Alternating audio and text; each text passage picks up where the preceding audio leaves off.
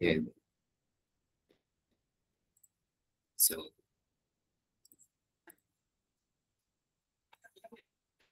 that is great.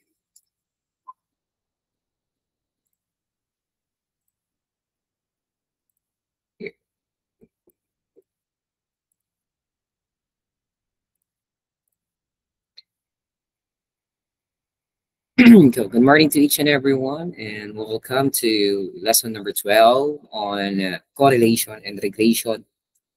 Today, we're going to explore the uh, powerful to tools of correlation and regression analysis. So this is already discussed during your core 006 statistics and probability. So let's see kung may naiwan pa. Again, the title is the person R correlation, coefficient, linear relationship, and regression line. So, na tayo magkamustahan kasi kulang na yung oras. And today, today's objectives, compute the R or the person correlation and interpret the linear relationship using person's correlation, coefficient, and regression line. Hindi nasama yung regression dyan. So your P2 exam coverage will be module number 6, 7, 8, 9, 10, 11, and 12. And exam week po is September 30 to October 5. So we still have one week to go. So meron tayong one week no, para aralin ulit yung 6 to 12. And now let's have a quick review first and day number 11. And what is the uh, z-score, guys? Doon muna tayo sa mga formula. Z-score. In z-score, in finding the z-score, we need to know the formula, which is the x minus mu all over the sigma. Okay, this is the first formula that we have. And for the second, okay, for the second formula, so let's say your sigma is unknown. Here, the z is unknown. Always remember that the mu is the same with the sample mean when we say sample mean and the mu, the sample mean, guys, and the mu is the same. Like so, in your exam or in your quiz, you're going to mention there the the population mean, the sample mean. Still, the location of your sample mean or population mean is at the second uh, second term, which is in your numerator. And of course, your sigma, it could be an S because this is the sigma. This is for the symbol for population, the standard deviation. Or it could be, or it could be a sample standard deviation. S. Okay, the symbol for sample is the standard deviation sample is S, but here is sigma. So what if the sigma is unknown? Going back to the first formula, we're going to derive the formula, which is z equals x minus the mu all over sigma. Okay, from the word itself derive, we're going to cross multiply in order for you to get the formula of sigma. Sigma. Uh, gago kung z na yung s kasi z. Z tayo ng z. Z square na tayo kasi x minus the mu. Since we're looking for the value of sigma, uh, sigma, we're going to divide both sides by z. z para ma-cancel natin yung z and matitira na lang si sigma. Then this is the second formula, x minus m, then all over z. Okay, let's move on to third. Our third is, again, kunin mo yung baseline mo. This is our baseline na formula para makuha mo yung tatlong formula. So, yan lang maglalaro yung tatlo na yan. So, sigma and z is equal to x minus the mu. And since we're looking for the ball, uh, since uh, the unknown here, let's say m is the unknown, x transpose x to the other side, and then sigma, z, kahit baliktad niyang sigma and z is okay because commutative property or equality is always the same. Bibigyan ka niya ng parehas na sagot like 3 times 4 is 12, 4 times 3 is 12. So, kahit baliktad niya. Equals a minus x rather. Since the x is positive, we're going to transpose to the other side. Always change the sign. Then we have the negative u. But since uh, negative mu is our unknown. Bawal po magkaroon ng negative ang unknown natin. So divide both sides by negative 1. And then you're going to distribute negative in every term. So our answer here, so lagay ko na lang yung correct order niya kasi baka malito kayo. Same lang naman yan. So negative, tapos may z sigma, then plus because negative and negative is plus x na siya equals positive mu. And this is our third formula. Next, for the fourth is the unknown here is x. Again, the base formula is z, z sigma equals x minus the mu then we're looking for the value of x. That's why the negative u is transposed to the other side. So z sigma plus the mu equals x. So yeah, these are the four formula of z squared. Yan, so apat yan. So, madali lang yan kasi ibibigay na agad ko ano yung x, ibibigay na agad ko ano yung mu, ibibigay na agad ko ni standard deviation. Just simply understand the problem because there's a word standard deviation, mean, row score. Kapag sinabi mong row score, yan yung mga X. Kapag sinabi mong uh, mean, uh, population mean, sample mean, yun na yung second term yung sa numerator. Yan yung sigma, standard deviation. Hindi niya pwedeng hindi sabihin sa problem yung mga mga terminologies na yan. Okay? This is the finding the total area. Ha? Area is different from area under the normal curve. The table that we have is the area. In your module, that is the total area. But not, it is not advisable to use that one because uh, it's uh, confusing. minsan mali, minsan tama. So, doon tayo sa best na talaga yung exact na exact yung sagot na kahit baliktarin mo siya, yun pa talaga yung sagot. Unlike your table. So, please, ay, punta tayo sa table ko ha. So, case 1 to the right, yung mga case 1 na yan is gumagamit siya ng greater than, mga keyword na at least, above. Why is it at least to the right, sir? Because at least ibig sabihin pataas at least, kunyari, at least 1. O di pataas yan, minimum of 1 could be 1, 2, basta bawal siya mag-0. Kaya it is considered as to the right. Yung above z is equal to 1.56. Okay, 1.56 using our table, we're going to get the area. After getting the area, dun tayo sa total area. So dito tayo sa number 1. Number 1, the area of 1.56 using my table So 1.5, then punta kayo sa 6. So we're going to locate the area of 1.56. The answer is 4406. Okay, 44, 0, and 6. So 44, 0, 6. And then since we don't know the total area, what is our base? Since we don't have a calculator, advanced calculator, we're going to apply the concept of standard normal distribution. And dapat alam mo yung characteristics ng normal distribution that in the middle is the mean and mean is always zero. 1, 2, 3. 1, 2, 3. Since 1.56 is positive, we're going to plot 1.56 in, uh, in normal distribution approximately located between 1 and 2. Since the condition is to the right, we're going, this is the shaded region. Since the shaded region is uh, did not cross the mean, we're going to subtract to get the total area. Okay, to get the total area of un, uh, under the normal curve, 0.5 minus 4406. Then the total area under the normal curve Yes. Can you please type the answer para mabilis tayo? Go. Zero. Zero. Thank you, Johnson.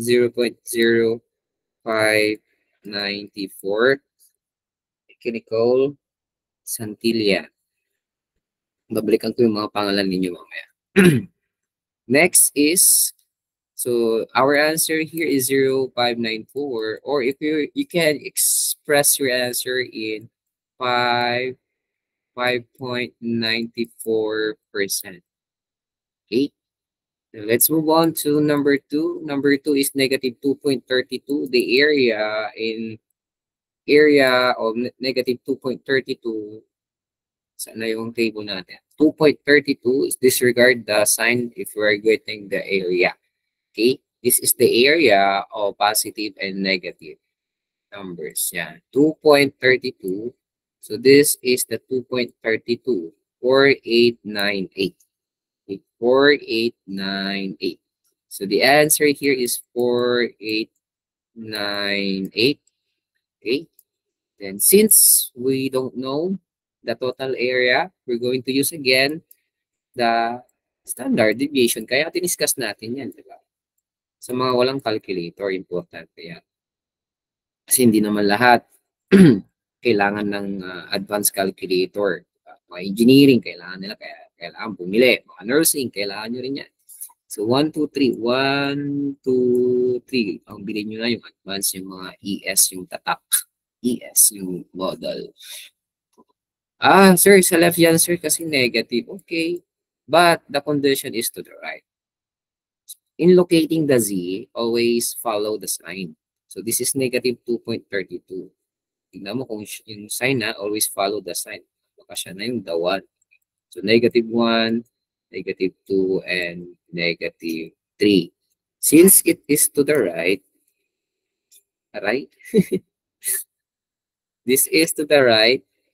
So, the shaded region will be to the right and nadaanan niya yung mean. Since nadaanan niya yung mean, the total area now, the total area of number 2 under the normal curve, 0.5 plus 4898. So if you're going to add this, the answer is 9898. 0.9898 or pwede siyang maging 98.98%. Okay, thank you, Matthew. Uh, hindi ko nasasagutan yung at least. Ha? Parehas lang naman yan. Sa, to the right. Next, number one. Oh, case number two. This number 2 is to the left. We're going to solve number 1. And the area, again, for number 1 is 2.46. And this is 2.4. And we have the 6 here. 2, this is 2.46. 4931. So, 4931. tayo dito. 4931. 4931. Okay? 4931. And since hindi pa natin alam ang total area, gamit tayo ng normal curve. 2.46 is positive yung nandyan. So, between 1, 2, and 3. So, 2.46 is located here. Then, since to the left siya, going to the left ang shaded region. Then, nadaanan niya yung 0, which is the mean. So, the total area now is 0.5 plus 4931. Okay? So that is decimal and decimal. So 9931. Very good. So 9931% or 9931. May point. Hindi ko nalagay yung point niya. Okay, number 2 naman. Uh, tignan nyo yan yung atmos. Meaning ng atmos kasi meaning a maximum maximum of 0.47 pababa. Kaya to the left yung mga yan. Negative 1.32 naman hanapin natin. Negative 1.32. Negative 1.32. 4066. The 4066, the area is 40, 4066, sir. Then we're going to locate the z value to the left po yan, uh, uh, from left po. So negative 1.32 between 1 and 2. So approximately located here. And less than siya. To the left siya guys. So left ka mag-shade. So hindi niya po nadaanan. So that total area under the normal curve is 0.5 minus 40, 66. And what is the total area the normal curve? Can you please subtract negative 5 minus 0934, 0934, 0934. Okay, this is 0934. so if you can uh, you can express your answer in the small the this uh percentage rather. Uh 0934 to-charge ako ng phone wait lang ah, okay na very good Natalie. It's 9.34 percent. It's 9.34 percent. Case number three. Between kapag may nabasa kayong between yan yung case 3 pero pwede din siyang maging case 4, pero dapat alam niyo yung sign. Pag same sign siya, subtract. Okay, we're going to subtract if it is same sign. But first, alam mo dapat yung area ng 2.46. So what is the area of 2.46? Can you please type your answer? Go.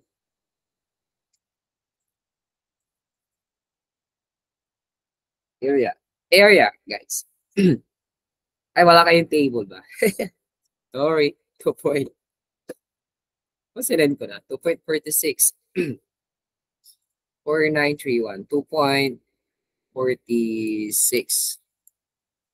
2.46. Oh, tama yung sagot ni Vince. 4931. May advanced calculator siya. 4931. Yung area naman ng 1.39. Go. Area ng 1.39. 4177. Okay, 4177.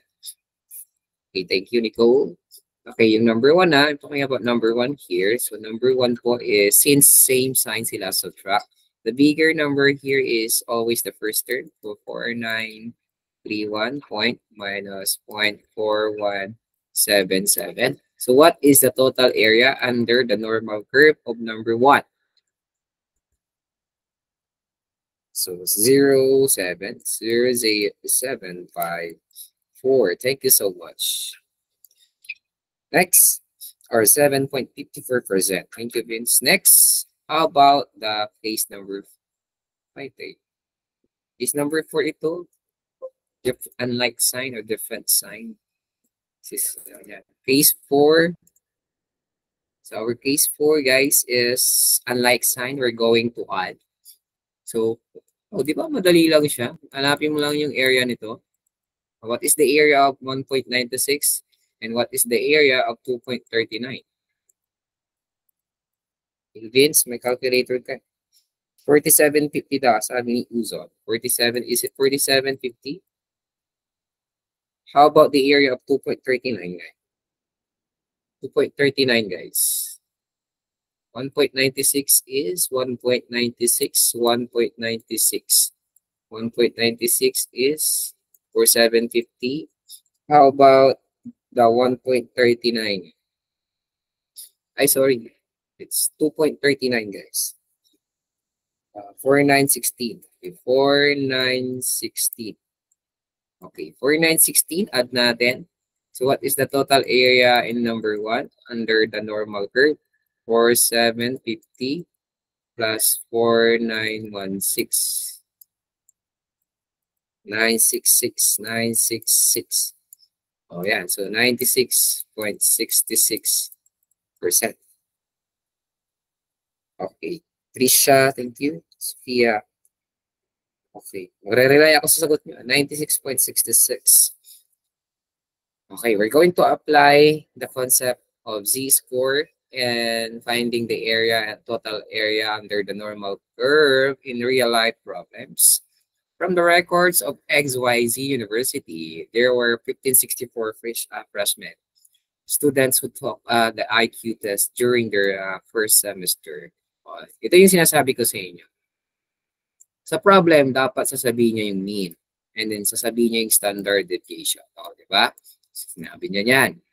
Ano sabi ko sa inyo sa mga follow-up question? these are your row scores. Your row scores, it will serve as the value of your x. So, kompleto na yung z-score natin.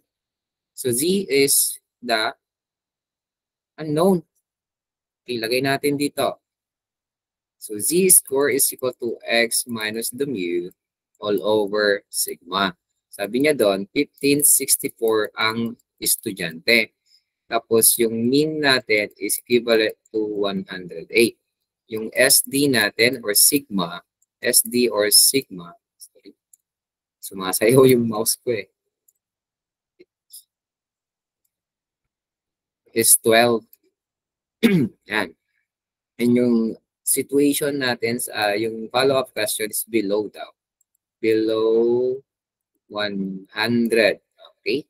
So, ibig sabihin, ito yung ating x. So, z, hanapin natin yung z. Palagi hanapin si z. So, x is 100. Ito yung IQ below 100. Na minus the mu is 108 all over 12. So, yung z natin dyan, guys, what is 100 minus 8? Negative 0.67. Hanapin natin yung area, area ng negative 0.67 0.67, 0.6 tapos 7. The area here is 2486. so 2486. Okay. Tapos gawa tayo ng standard normal distribution. So ito yung 0. Eh, nasa negative po sir, kaya sa left tayo maglagay. Pero the condition sir is below. So to the left, So 0.67 is between negative 1 and 0, approximately located here. Our z is negative point, negative 0.67. Below is left, the shaded region will be left. So the total area under the normal curve, raised from the normal curve, guys, is 0.5. Hindi po nadaanan si mean. So 2486. So our total area under the normal curve now is 0.2 2514. Advance ka naman, Krista. Hindi ko pa naman tinatanong. So, 2514. Magbe-base kayo sa total area para makuha nyo yung estudyante, bilang ng estudyante kung ilan yung below 100 na IQ. Kita times natin siya sa 1564. So, kukunin natin yung percent na, ilan yung number. Ilan yung number ng estudyante dito. 2.5414 times 1564, the answer is 393. Tandaan, walang kalahati na tao or bilang ng tao. 393.60, 393.51, 390.18, still 393 final answer.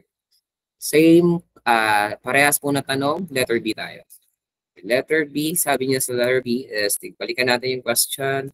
The letter B, guys, is above 120 and letter C is between 95. Review again, 108 is the mean standard deviation is 12.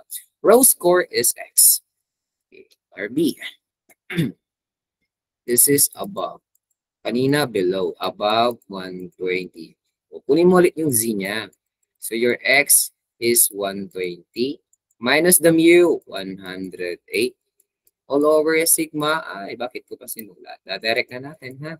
So the answer here is 12. So what is our z, guys? Okay, 1 or 1.00. 1.00 or 1 is the same. Hanapin niyo yung area. What is the area, guys? Area. Point, I think 3413 ito. Okay, thank you, Vince. 3413. And kukunin natin yung total area using the standard normal distribution. So yung 1 nandito, di ba? And above yan guys, so above. So to the right. Yan yung sinasabi ko yung mga platandaan. Dapat alam nyo. Above is to the right. So hindi niya po nadaanan. So total area now is 0.5 minus 3413. So ilan yung sagot natin dito? So 0, Total area under the normal curve is 1587.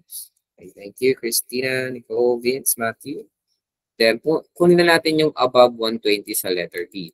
So 1587 times 1564 yung estudyante. So 0.1587.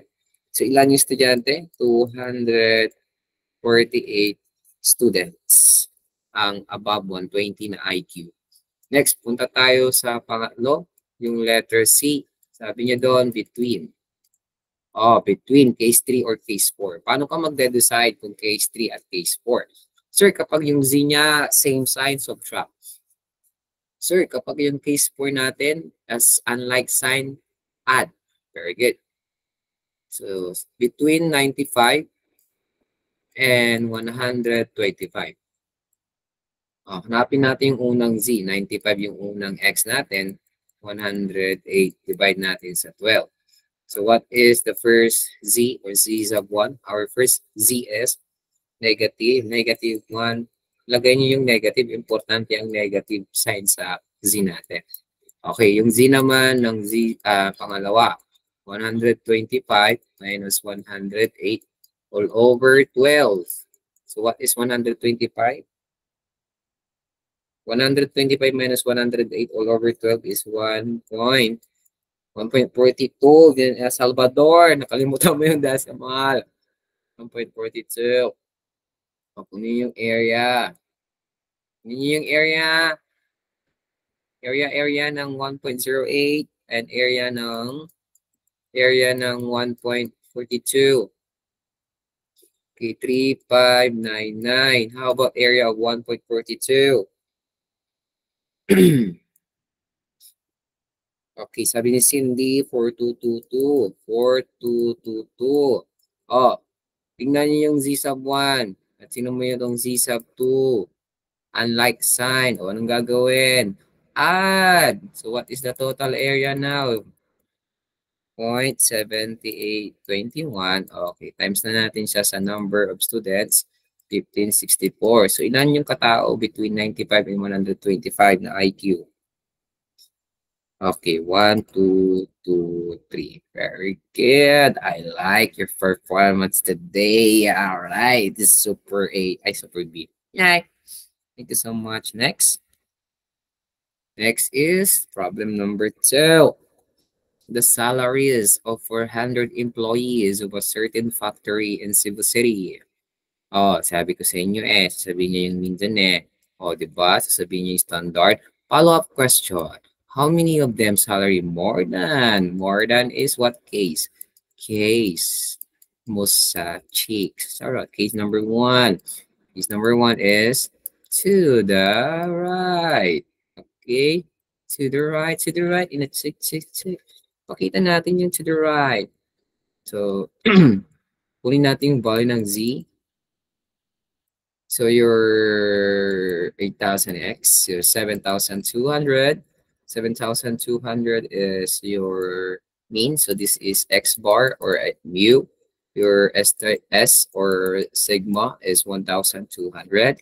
So, your x here is 8,000 minus minus 7,200 all over 1200 SD. So what is our Z? the 0.67. What 0.67 guys? And what is the area of 0.67? What is the area guys? 2486. 2486. Okay, 2486 the area and what is the uh, total area so what is the total area since it is more than so case number one tayo to the right this is one. This is between 0 and 1 to the right hindi niya po madadaanan si 0 so the total area under the normal curve is 0.5 magma-minus tayo ng 2486 so what is the total area now guys? So 25, 14. So 25, 14. Point 25, 14. Since meron na tayong area dito, hanapin na na tayong yung empleyado. How many of them have a salary? So kunin mo yung 2.2514, imumultiply natin yan sa number ng empleyado. So 400. So ilan po yung katao na may sahod more than 8,000? Okay, 100. By 101 yung iba. okay lang yan, 100 po yan. Basta pag may decimal na, huwag nyo na siyang i-round off kasi wala namang decimal na tao. Wala na, whole number lagi ang tao, di ba? whole number po, isa, 1 is to 1, parang gano'n. 100, then still, still, kasi tao ang pinag-uusapan. Tao ang pinag-uusapan, dapat 100 lang yan. Hindi siya pwedeng i-round off. Sa exam naman, don't worry. Or sa quiz, don't worry naman. Kasi one point difference. Kung malapit, yun yung sagot. Ha? Pero, mathematically speaking, the correct answer is 100. But in your module, I think 101. But, mathematically speaking kasi, bawal magkaroon ng decimal. Di ba? Wala namang tao. Ay, wala namang 0.1 na tao. Whole number lagi ang tao. We're going to consider the person as a whole number. Ni-round off ko pa. Ni-round off ko ba? Hindi. Kayo ang nagbibigay ng sagot. Nag-round off ba ako? Okay lang yan. Basta one point difference. Malapit. Basta pero, kasi pag mat kasi at tao yung pinag-uusapan, yung decimal, hindi na siya kasama.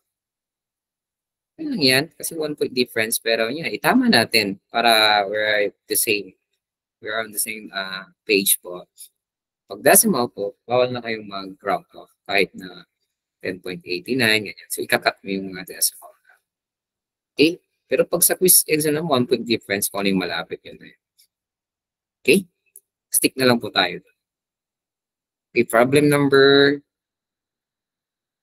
Sana yung isa? Ah, okay, problem number 3. A hospital wants to determine the appropriate dosage of medication Ato, sir, wala po kaming nabasang direction. Siyempre, between po ang direction. Between 130 and 170. So, dapat alam mo kung ano yung mean, which is 150. Dapat alam mo yung standard deviation, deviation which is 20. Okay? Solve natin. 150, 1, 150, tapos 20. Your x bar or mu is 150. Your x is your x sub 1, your x sub 2. This is 130 and 170. Balikan natin yung problem. So 150 pala. Uh, 130, 170 tapos yung mean is 150. Tapos yung sigma is 20. Tingnan natin yung 20. O, tama, 20. o, kunin natin yung z sub 1. Z sub 1, kunin natin yung 130 minus 150 all over 20. So, ilan yung Z sub 1 natin? Negative 1. Okay, what is the area of negative 1? I think 34, 13 din ito. 34, 13. Check nyo nga, tama ba? Area ko. Matthew, tama ba? Area. Z sub 2. Yes, yes sir, yan. Uh, punta tayo sa 170, 150. Tapos 20. Okay. 1 ulit. Oo nga no. 1 ulit yan. O di yun, din, yun pa din yung area niya. 134, 34, 13 pa rin. Pero, unlike sign sila, so the total area under the normal curve is 34, 13 plus 34, 13 because unlike sign. So what is the total area, guys? Type your answer 6826. So 0.68. So 6.68 times 0.6826 times ilan yung number ng ay, ang tinatanong pala ano percentage na. Sorry, sorry.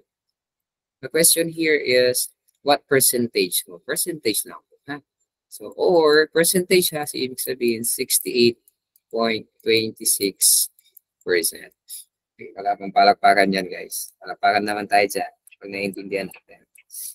Yeah, yeah, yeah. Thank you so much sa lahat ng mga pumalakpak kayo, yung mga papasa. Alright, alright. Charot! Wait lang, dahil ako ay uh, magpapagasolina muna, ang aking ilong ay kumakate. Okay, that's and that's it for day number 11. And let's move on to the main last one. So much. Do you have any questions? Ah, oo nga, sir, meron pa po. Yung ano, shortcut mo, sir. Okay, balikan natin yung kunin natin yung shortcut. Gawin natin yung shortcut, sir. Okay, this is the shortcut, guys. Gawin natin. Ilagay natin sa calculator natin. This is the shortcut in finding the shortcut in finding the total area and area. Punta kayo sa mode. This is for advanced mode plus stat. Punta kayo sa mode stat plus AC. Yung AC para mo siyang i-clear. Tapos punta ka sa uh, mag-shift. Mag-shift ka. Tapos plus 1 plus 1 plus 5. Yung plus 5, may mababasa kayo dapat na distribution. Basta distribution dapat mababasa nyo dyan. Tapos may makikita kayong 1, 2, at 3. Okay, 1, 2, at 3. Uh, ah, ito yung total area. Total area na po yan. Total area to the to the left. Ay, bakit wala akong symbol dyan? Sorry. Erase, erase, erase, erase. Makikita kayong 1 dyan, dapat P ang makita ninyo. Yan yung total area to the left. Hirap magsulat dahil. Next, Q naman, that is the area lang. Okay, area lang yan. Ito naman is yung R to the to the right. Total area din ito. Total area under the normal curve. Okay, try natin. Okay? Kuya, tinuro ko na yun ng face-to-face. Kunin natin ng mas mabilisan without... Kaya si Vince, uh, lagi niya nasasagot agad kasi ano eh, may advance siya, naturuan ko siya. Ano Solve ko yung above ah, to the right tayo. Una, ilagay ko sa mode, stat, number 3, tapos AC. Ito yung AC na sinasabi ko. Shift, 1, 5 kayo. Kasi yung 5 is distribution. Punta kayo sa, since finding the total area, so you don't need to find the area kung may advanced calculator ka. To find the total area under the normal curve of above z 1.56, piliin mo yung number 3. Di ba kanina number 3 is to the right? 1.56. Bibigyan niya ka agad ng sagot na number 1, ang answer natin dito is 0.0 5938. But, but when it comes to probabilities of standard uh, distribution, your answer should be four decimal places. Next to 3 is 8, kaya 594. 0, 594, which is the same. Okay?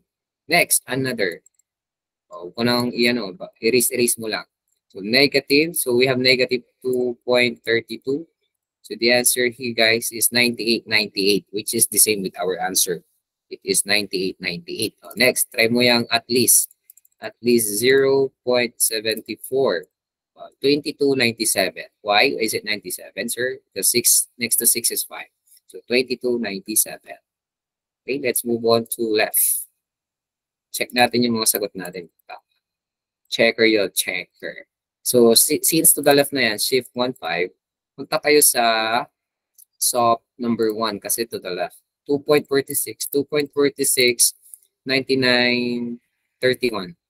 Oh, tama yung sagot natin. 99.31. Okay, next. How about number 2? Less than negative. Negative 1.32, sir. Uh, 0934. 0934 is the same with our mano-mano. Okay. okay. Next. At most naman, pares din yung lalaban na, uh, pares yung lalabas 0.47. Ay, hindi, 74 ata yung kanina. 0.40, ah, no, no, it's to the left pala, sorry. 0.47, it's 6808. 6808. 0.47 to the left. Okay, so ganyan po yung shortcut niya. Lahat po yan applicable. Oh, sa unlike sign, sir. Paano pag sa unlike uh, between, sir? Kapag between po, uh, shift 1.5, pili nyo yung number 2. Number two, what is the area? Basta pag between guys, huwag niyong kukunin yung total area para makuha. Area lang talaga. Yung total area kapag na-add mo na or na-minus mo na. So Q natin dyan is What is the area of negative 1.96? So, check natin kung 4750. Sir, ang lumabas sa calculator ko, 47.5. Dagdagan mo ng 0 para maging 4 decimal places. Okay?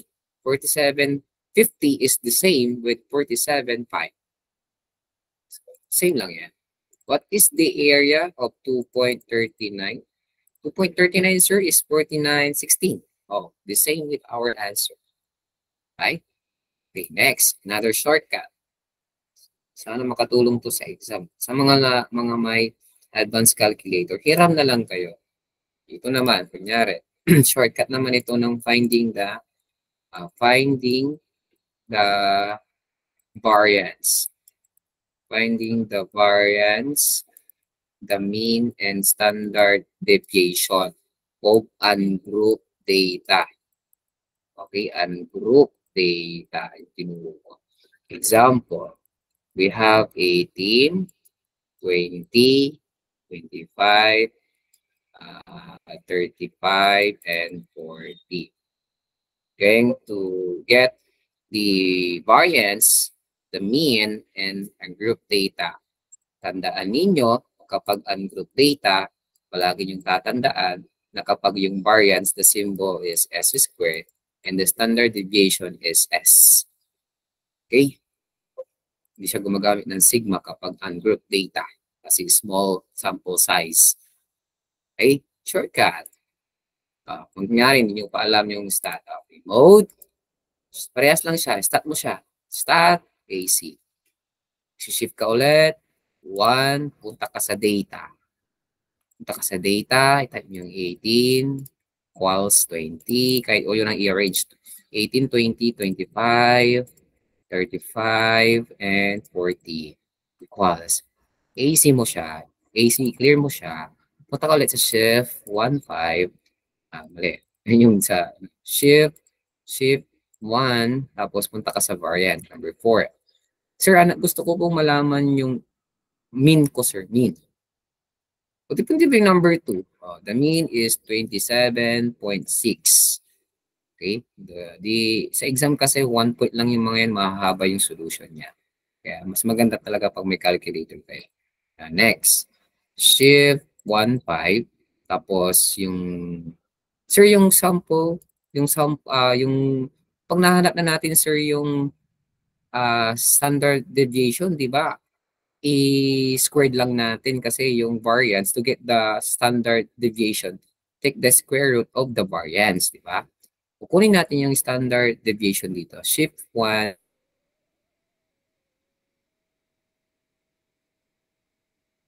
and 4, variance ulit.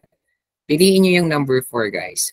Huwag nyo pipiliin si number 3 kasi sigma yan. Ibig sabihin, relation yan. Kapag yung ginamit mo, inisip ng minus 1.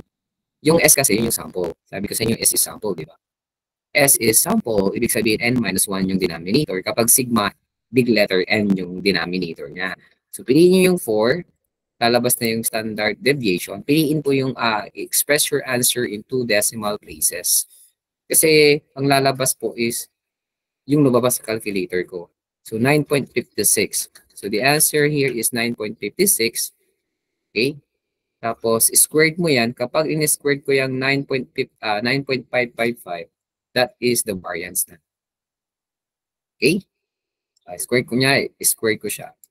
So this is 91.3 is my variance. Then take the square root of your answer. 9.55 is my standard deviation, right? Because the shortcut in finding the var and the standard deviation, you're going to take the square root of your answer in the variance para makuha mo yung some, uh, standard deviation. So sana makatulong. Okay, next. Ito tayo sa Ah, ito na yung main lesson natin. Diba? Time check, 9.48. So, sakto pa to. So, you don't need to memorize the formula, guys. Kasi sa exam ninyo, ibibigay na namin yung formula. So, all you need to do is to master, familiarize on how to use, on how to substitute, insert the data. So, wag na niyang i-memorize yung formula. So, this is the uh, person product moment coefficient of correlation or R formula. Okay? Yung person natin is denoted as R. X is observed data for the independent. Your X is the independent. Your Y is dependent. So, summation of XY, summation of X, summation of Y, blah, blah, blah. Okay? So, the value of the R range from negative 1 to 1, which means R can't be higher than 1 or lower than negative 1. Okay, so nasa ano lang siya, negative 1 to 1. Okay, huwag nyo na i-memorize yan ha.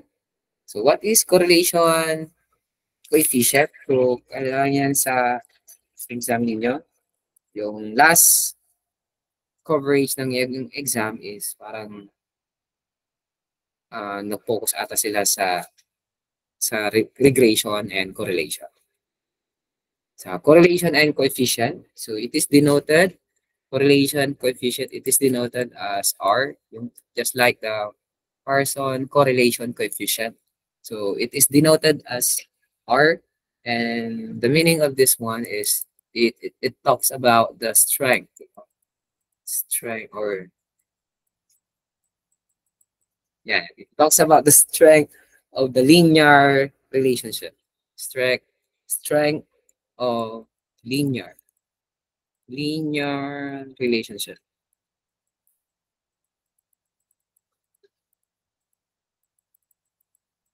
Next.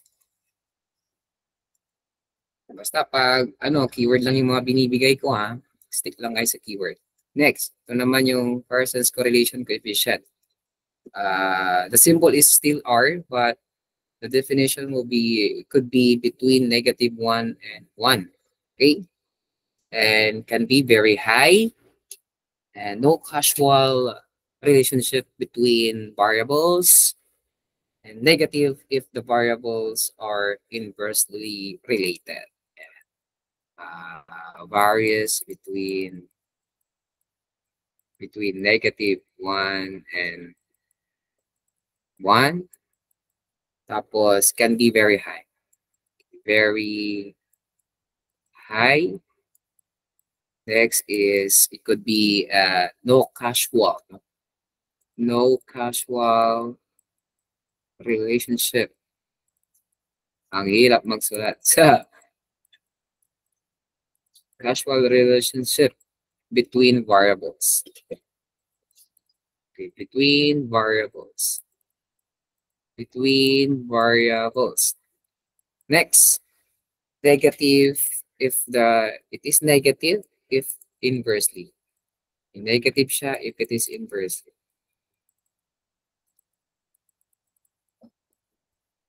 Kung pain ang sulat ko, inversely related. Yan, anos-anos lahat. Alright. Masaya to. linear again is linear is association uh statistical term used to describe straight line kasi when si linear straight line linear correlation straight line pa rin siya pero two variables halos parehas lang dalawa basta ang importante kung ano yung mga sinusulat ko yan yung mga importante guys yan yung mga ganyan hindi ako mga hindi ako nagsulat yan dito tayo lesson 12 uh, you need to memorize. Ito yung kailangan niyang i-memorize kasi uh, 1, 2, 3, 4, 5, 6, uh, 7. Ito yung interpretation kasi. Naalala niyo to ng grade 11 kayo. Ha? Naalala niyo pa rin. Pero kailangan siya i-memorize. Eh. Yung formula lang hindi. Kapag 0, 0 yung lumabas, no correlation. Positive or negative 0.01 to 0.30, very low. Okay, so dapat alam niyo yung interval ha. Tingnan natin yung interval dito. Uh, nasa 30 ito. 30 yung interval. Para may pattern kayo. 31 to 50. So, interval nito 20. Okay. So, dito naman 20 ulit. Ah, 20, ah 10 lang. Ah, 20. Tapos dito 91. 10. 10 lang dito. Tapos yun 1 lang. Ah, okay. Uh, kayo bahala gumawa ng sarili yung pattern ako, ganyan, may pattern ako na ganyan. Ah, pala. Basta laging 1 lagi sa left. Tapos ito palaging 0, 0, 0, 9, 9. Okay? Para di kayo man. Tapos kapag 1 na yan, negative or positive, perfect positive yan ha. Perfect positive, very high positive. Kasi may perfect, may very high, tas may high. May, may high na nga, may very high pa, di ba? May moderately pa, oh. Tas may low, very low. No correlation. Tandaan nyo yan, ha? Importante yan. Kasi interpretation yan. Pag nakuha mo na yung sagot, tatanungin kayo, what is, kunyari, nakuha kong sagot is 0.71. What is your interpretation about 0.071, sir? Kasi sa sasagutan ninyong exam or sa quiz, uh, high positive correlation ang isasagot nyo doon. Okay? Importante po yan. Uh, yan yung mga siguro yung memorize nyo sa lesson 12. Yung, yung formula, wag na. Okay, next, dito tayo sa solving naman. Solving, meron tayong third, tatlong columns na idadagdag. Itong three columns na nauna, palaging given niya. Tinuruan ko na kayo paano kunin ang n. Bilangin nyo lang. 1, 2, 3, 4, 5, 10. So our English grade and math degree, uh, math grade. Sabi niya, take note that English grade is the independent variable. Okay? So, independent variable, balikan natin ulit. Observe the data for independent. Ibig sabihin, what is independent? X. Dependent, Y. Okay, going back. So, X, idadagdag natin dito is X, Y. X squared, y squared. Okay, yan yung tatagtag na tatlo. x, y, x squared, y squared. Okay? So, madali na lang yan kasi yung uh, independent natin, x tapos meron tayong y. So, what is 90 times 78? Uh, gamit tayo ng calculator. Ah, 991EX. Sorry, ngayon pang nabasa. 991EX, pag nag-menu, number 7 po si distribution. Pero kung click after na 1 normal, normal CD, inverse normal, binomial. Hindi ko kabisado, uh, Nicole, yung 991EX. Pero nagamit ko yan ng grade 11 kasi discover namin siya. Meron yan eh, kasi yung 991EX advanced po yan. Meron yan watch. Uh, hanapin ko, try ko hanapin kung paano ulit. Okay, thank you, Janzen. This is 70, 20. Next, idiretso nyo na, guys. 70, 20. Uh, 70, 20. 8,100. Okay. Next is 7,600. Saan ko ilalagay yung 7,600? Saan? Paano na lang tayo pa, pa horizontal? Horizontal na lang. Okay, what is y squared? 6084. 6084. Okay, next is next column. 76. Go, diretso na. 76. 76, 90, 25. 90, 25, 64. Next po, third. Third is 75, 68, 75, 68, 75, 68, 75, 68, 75, 68, 77, 44. 77, 40, 77, 44 next. 77, 44 next po. Next, next, next, next. 7396 is 7396.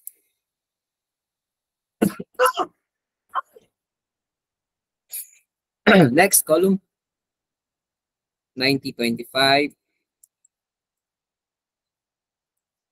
Next po.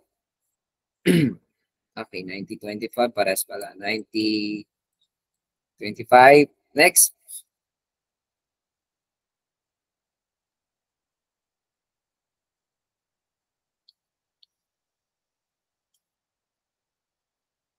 90, 25.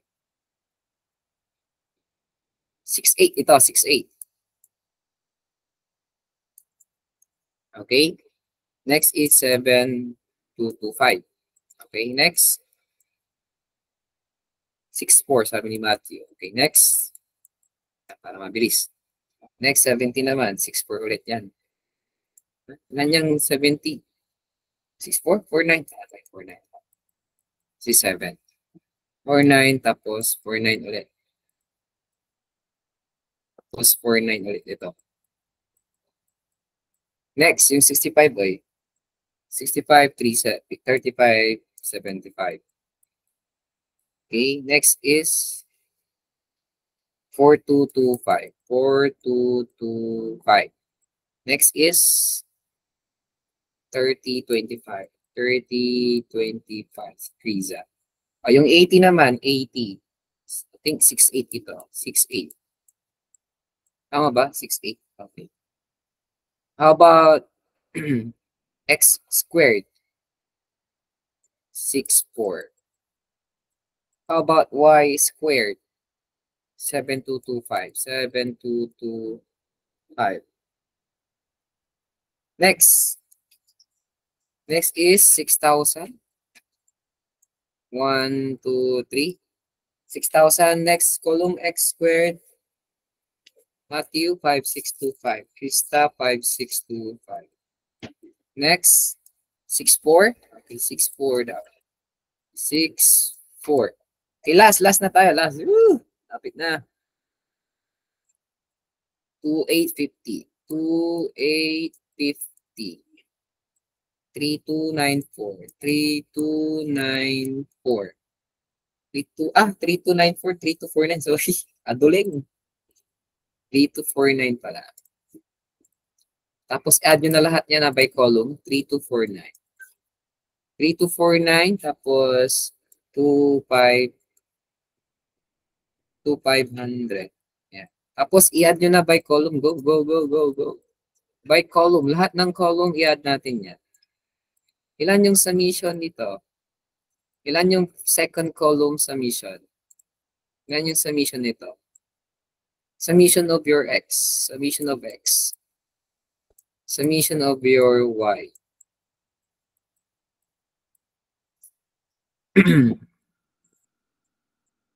What is summation of x, guys? Summation of x muna tayo. Is it 795? Sabi ni Krista, 795. 90 plus 95. Okay, yung x squared na kuha na ni Nicole, tingnan natin. Sure ba yan? 795 yan? 795 ba yan? Lagyan nyo ng symbol ah. Oh, yung ginawa na ni Nicole, 65. Oh, summation of x, 800 daw. Ganyan, ganyan yung mga ganyan. Gusto ko makita. 800.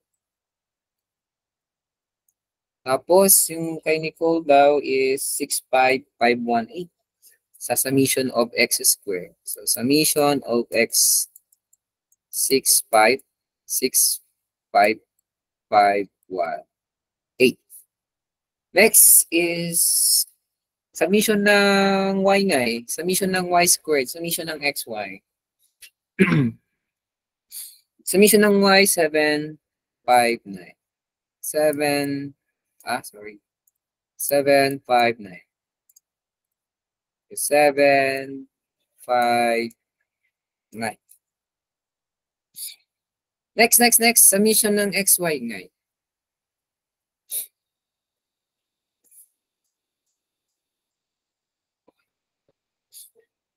Summation ng XY.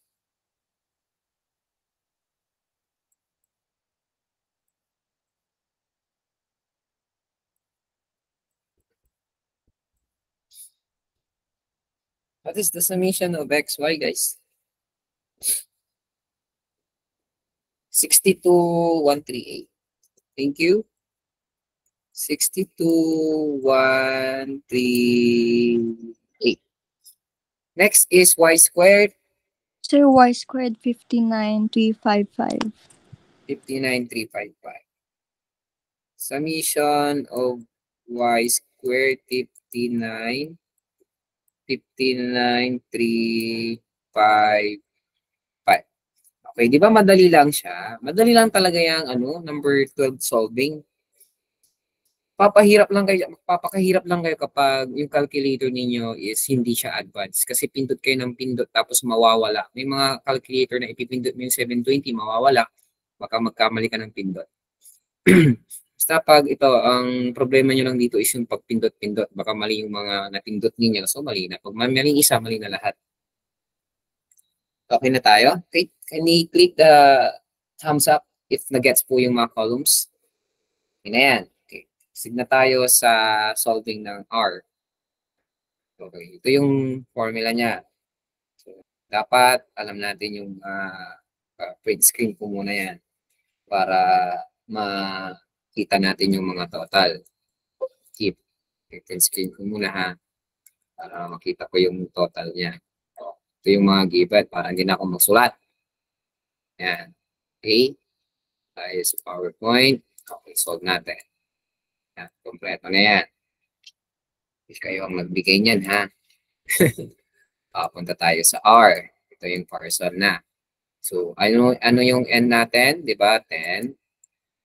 10. Oh, nandito na ako at 10. Summation. Ilan yung summation ng XY? Summation ng XY? 62. 62, 1, 3, 8. Minus summation ng x, 800. Tapos summation ng y. Summation ng y, 7, 5, 9. Okay. Next, open formula tayo. Don't worry. Next is my square root po lahat.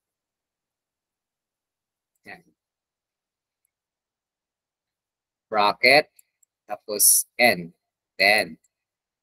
Next is summation of your x squared. x squared is 6, 5, 5, 1, 8. Tapos minus open, summation of your x is 800. Summation of your x, guys, is 800. Tapos squared mo siya.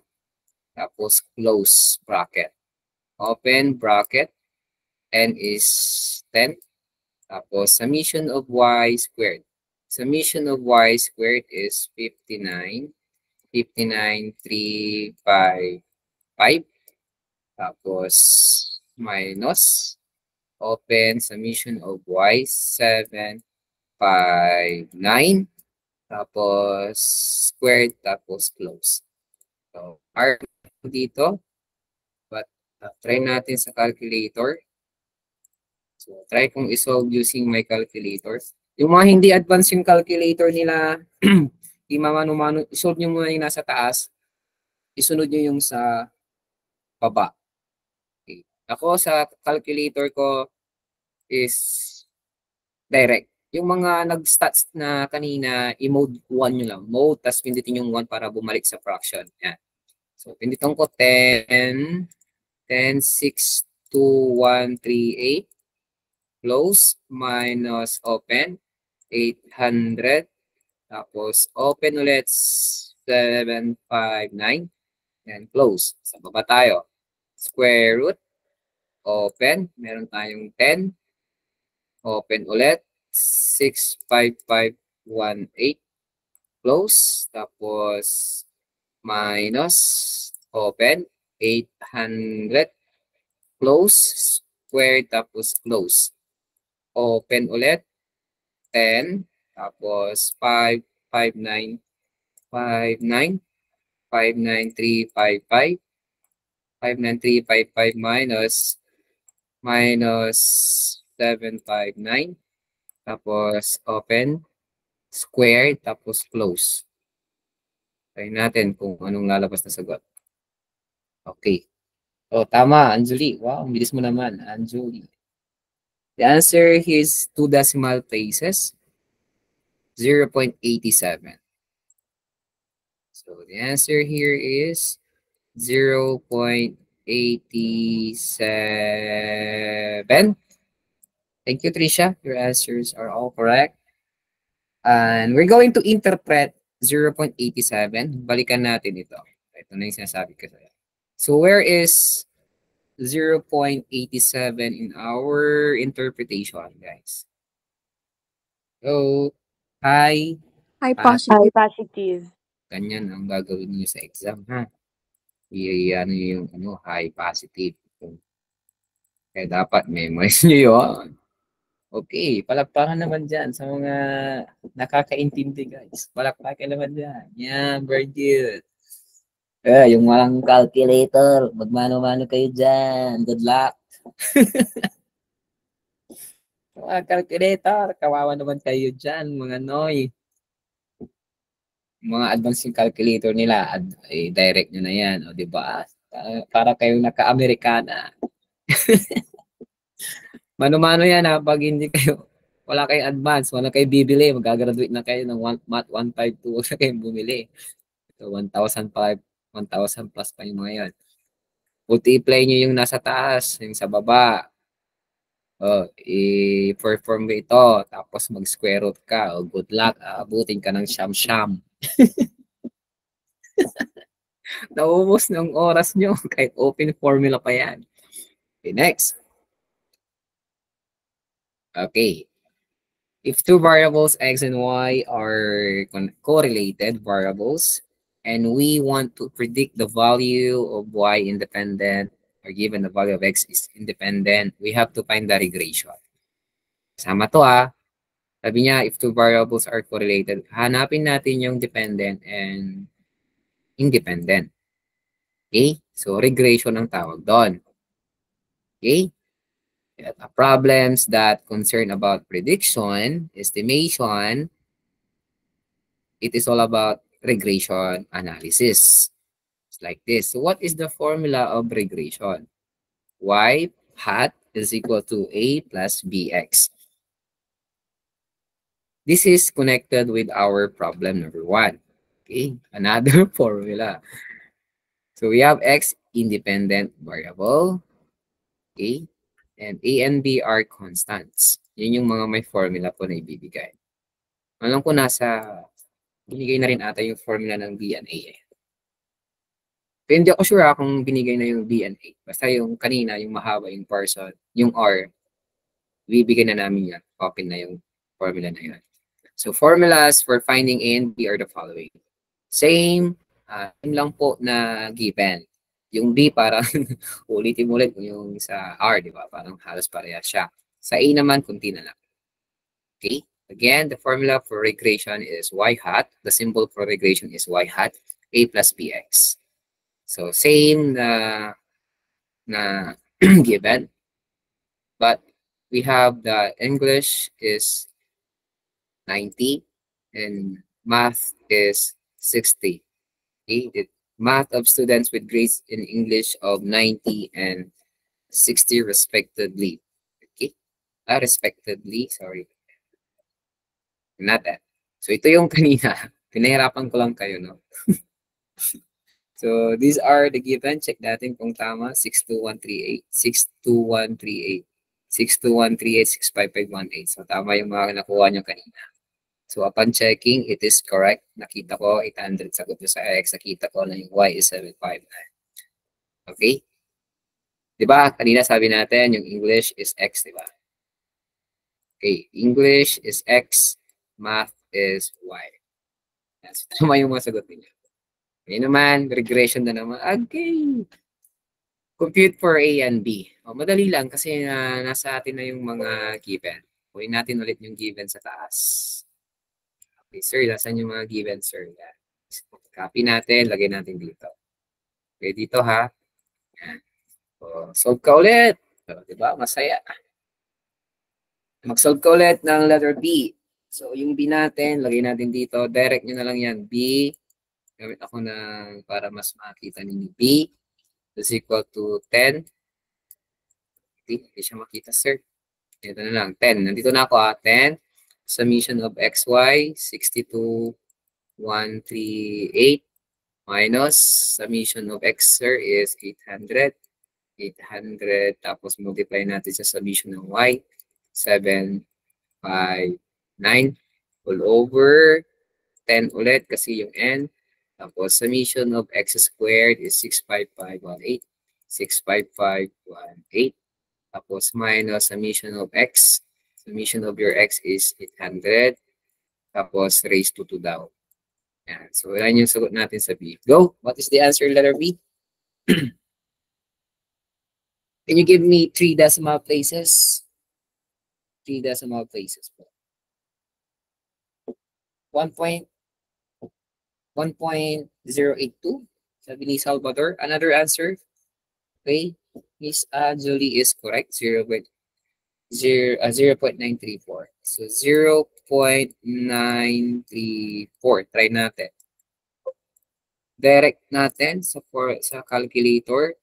So we have 10 open 62138 tapos minus open 800 tapos multiply 759 then sa baba meron tayong 10 multiply natin sa 65518 6 minus 800 then raised to 2 so SD natin 0.934 0.934. Thank you. Next.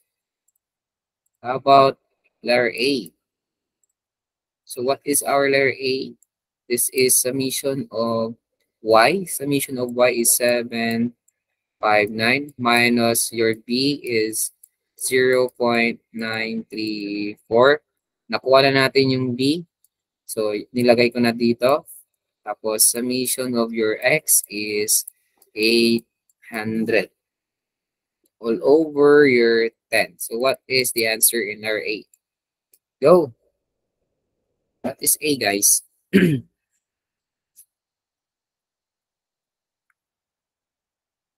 One point eighteen. Okay, one point eighteen. Thank you. So, ano yung formula ng regression? Ita-trans substitute na natin yung ating y hat equals, yung a natin dyan is 1.18. So 1.18 plus yung b natin is uh, 0.934 tapos meron tayong x. x, yeah, ganyan yun lang. So this is our final answer for regression line. This is the regression line upper. Hindi ba masaya? Masaya kung tumasaya, tumawa ka, Intindihan nyo ba? Ikaw ay masaya, tumawag ka. It's all about formula, guys. Hindi naman siya nakakalito. Mahirap lang siya, maproseso. Ah, maproseso lang siya mahaba, kaya matagal. Diba? Ikaw ay masaya, tumawag ka. Do you have any questions about regression line? Hello? Do you have any questions about regression line, guys? Okay na po ba to? Sir, okay niya po. Yan. Bali, naka-record naman tayo. Uh, next. Hindi pa tapos. Akala nyo tapos na. Meron pa yung follow-up question. Sabi niya, B. Yung kanina, A. Finding the regression line. Uh, if X is 90 daw, English grade, substitute in the regression line. Di ba, nakuha na natin yung regression line natin. Yung Y hat is equal to 1.80 plus 0.934x. Uh, di ba, nakuha na natin yung regression line. And o, 1.18 plus 0.934x. Isa-substitute na natin yung x natin. So, y hat 1.18 plus 0.93490. O, 90 yung English, oh. So, y hat Uh, 85. answer 24, sir. 85.24. So 85.24 or in whole number, express natin siya sa whole number 80. 85. Questions po? Okay na po ba sa B? Okay, next. Wow, meron pa. What will be the math grade if x is equal to 60? English grade yan. okay, sige. Basta, math grade na tayo. Di parehas lang din, palitan mo lang, di ba? So, y prime 0.22. 1.18 plus 0.934. Palitan mo lang yung x ng 60. Ano yung sagot? 50 57.22 or 57. or 57. So, ito yung math. Ito yung math grade. Yung kanina is English. English grade. O, di ba ang saya? Ang saya pag sa FINMA, sasamahan kita. sasamahan kita ang sumakit ang ulo. Check for understanding. You're going to pass it on next week. So please take a screenshot of your activity. Okay. So this is uh, 50 points. All right. Math is all about becoming a creative thinker, not a calculator. All right. so, sana may naintindihan kayo. I hope uh, may naiwan no? sa inyong mga utak. And sana okay lang kayo dyan. Hindi kayo na no, overwhelmed sa lesson kasi napakarami. Uh, so yun. So that's all for lesson number 12 and lesson number 11. Do you have any questions about lesson number 11 or any lessons from module 6 to 7? Sir, may tanong po si Kisha Marie po. Ano? What? Anong tanong?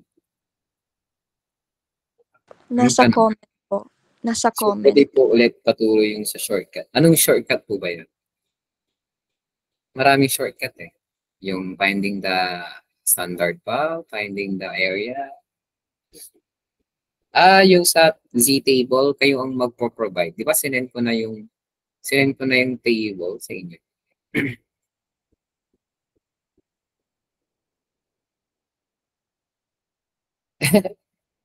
Sir, pwede po ulit paturo yung sure yung sa Z-table. Ito na lang yung gamitin nyo ha, yung table na binigay ko ha. Huwag yung gagamitin yung table ninyo kasi malilito kayo dyan.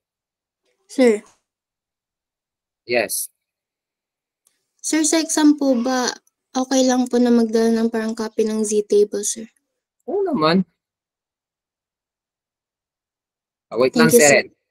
Okay, wait, wait, wait. Stop ko lang muna to para hindi umaba. Huwag muna kayo malis. Stop ko lang ito. Module 12.